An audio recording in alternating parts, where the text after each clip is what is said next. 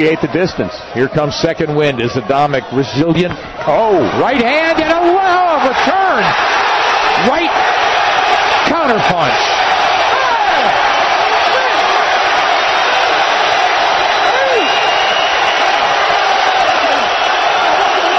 Oh, Banks looks tired. Sudden explosion. Here comes Adamek. Body shots. Banks in serious shape. Eddie Cotton looking in. It's over. Oh, look at poor Banks in the corner. Didn't know what hit him. We didn't take those shots, we could tell you. It was Tomasz Adamek.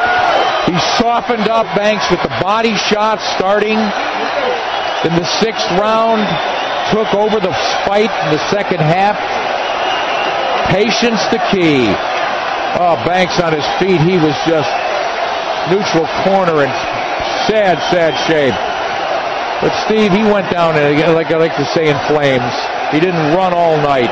I'm not. I'm not going to criticize